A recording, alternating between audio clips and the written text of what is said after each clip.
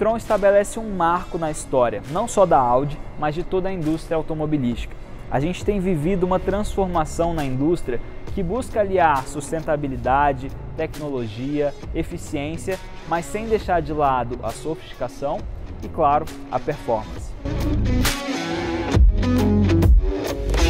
Até pouco tempo atrás era quase impossível você imaginar que um carro de mais de 2 toneladas e meia pudesse ser movido por motores elétricos. E mais uma vez a Audi deixa todo mundo de boca aberta, porque esse carro não só é movido por motores elétricos, mas esses motores entregam 300 kW de potência, o equivalente a 408 cavalos. Esse carro é capaz de acelerar de 0 a 100 em apenas 5.7 segundos, graças a um torque de 67.7 kg. A velocidade máxima ela é limitada eletronicamente a 200 km por hora. Toda essa potência é alimentada por um conjunto de baterias de 36 módulos, que juntas têm a capacidade de 95 kWh de energia. Esse sistema não só alimenta os motores elétricos, mas também sistemas periféricos de alta tensão, como o transformador de tensão no plug da bateria e o compressor do ar-condicionado.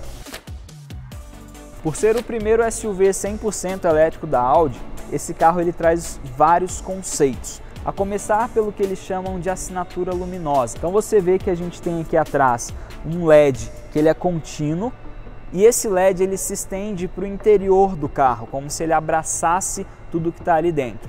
Essa assinatura luminosa a Audi quis incorporar para que quando você entra no carro, você entenda que você está num mundo diferente, um mundo eletrificado.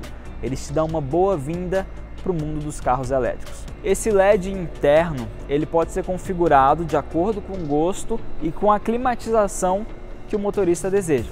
Além disso, nós temos esse revestimento que é característico da versão Performance Black, que vem imitando uma lava vulcânica. Então a versão Performance Black possui essa textura como diferencial e o que é mais interessante, cada carro possui uma textura única. Esse padrão nunca se repete. Então continuando aqui na lateral se encontra também o plug de carregamento do carro. Esse plug ele tem um padrão internacional europeu, então você não vai encontrar dificuldade na hora que você precisar carregar o carro num totem que não seja da sua casa. Ele tem o carregamento tanto do lado direito quanto do lado esquerdo para facilitar a vida também. A gente tem essas rodas imensas, muito bonitas e imponentes, com aro 21 polegadas. O carro ele é todo recheado de sensores tanto de sensor de assistência como sensor de estacionamento, câmeras. Aqui a gente vê alguns desses sensores e a gente chega numa parte muito interessante. Os designers da Audi, eles quiseram que quando você olhasse esse carro de frente, você já identificasse que ele é um modelo elétrico. Isso porque a grade aqui ela é uma grade fechada. Os carros a combustão interna, eles precisam de um resfriamento maior do motor. Por isso que a grade aqui ela é aberta para que enquanto você se movimente com o carro, o ar passe e resfrie. Isso não acontece com os motores elétricos, eles não precisam de um resfriamento tão robusto assim. Então a grade fechada é mais um ícone desse carro da Audi. Carros como esse estão moldando o futuro automobilístico. Não é surpresa para ninguém que em alguns anos estaremos vivendo em meio a carros autônomos. Mas será que essa realidade está tão distante assim? Eu quero mostrar para você agora duas coisas que me fazem crer que o e-tron é um carro praticamente autônomo.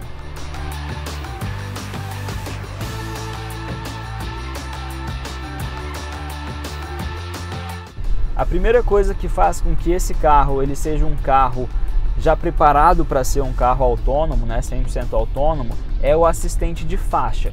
Então, se eu clico aqui no cantinho, ele vai acender esses dois, essas duas faixas verdes, que ele fala para mim que ele se situou numa faixa na minha via. Se eu jogo ele um pouquinho para o lado aqui, mas com a mão no volante ainda, estou me aproximando da pista, você vê que a faixa ali no cockpit fica vermelha. Então, ó, eu estou muito próximo da pista ao lado, então ele já me avisa isso. Mas não só isso, né? Então, se eu solto o volante e continuo jogando para a esquerda, vê que o próprio volante ele joga um pouquinho para o lado para voltar o carro para o centro da faixa.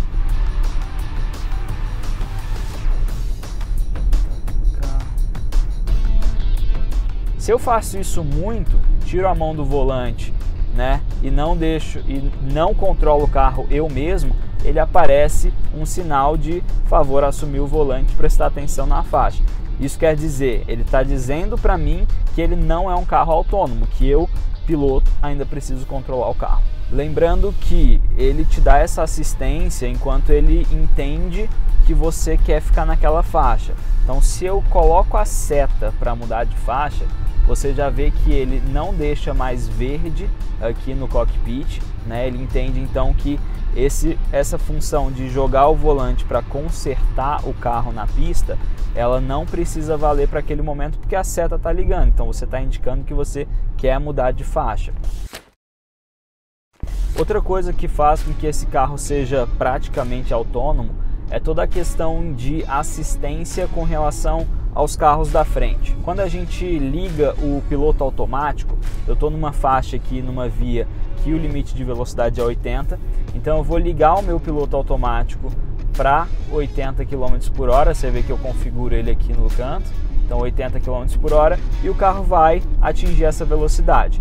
No momento eu não tenho nenhum carro a uma distância próxima de mim que esteja a 80 km por hora ou menos. Se eu mudar de via, que tem um carro aqui à minha frente, você vê que aqui no cockpit ele vai mostrar o carro à minha frente, o desenho, e ele vai me mostrar a distância segura que eu tenho desse carro. Essa distância ela pode ser programada, mas existe um mínimo. Então o carro vai sempre procurar manter essa distância segura do carro da frente, mesmo que isso comprometa a velocidade que eu coloquei aqui no meu piloto automático. Então você vê que eu setei ela para 80 por hora, mas o carro está a 78.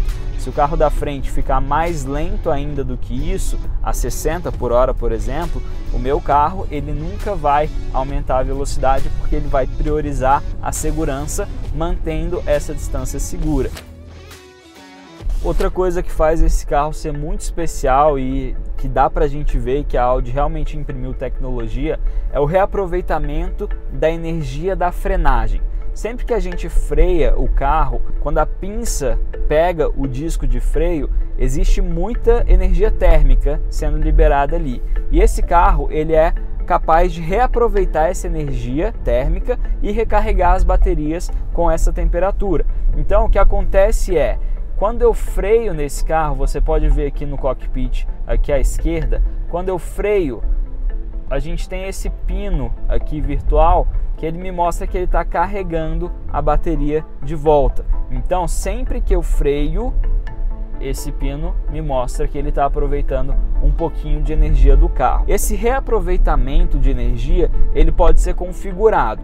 De que maneira que ele é configurado? Sempre que o carro está parado, essa borboleta aqui atrás do volante, ela me permite regular os três níveis de reaproveitamento de energia. Um nível que eu vou reaproveitar pouca energia, um nível que eu vou aproveitar um nível intermediário e um nível que eu vou aproveitar o maior nível de energia possível. Então, estando com o carro parado, eu consigo regular qual que vai ser o meu nível de reaproveitamento de energia. A gente vê aqui no canto, se eu jogo a borboleta aqui do carro para baixo, ele diminui aqui para o nível intermediário de energia, ou seja, eu estou aproveitando um pouco mais de energia da frenagem. Se eu coloco mais um nível para baixo, ele me dá mais capacidade de energia. E se eu coloco para cima, eu consigo voltar para o nível mais básico de energia. Isso compromete o quê? Se a energia ela é reaproveitada a partir da frenagem, se eu coloco no meu nível mais brusco de reaproveitamento de energia, isso significa que eu também vou ter uma frenagem mais intensa. Então você precisa se acostumar com a frenagem do carro para o nível de reaproveitamento de energia que você queira utilizar.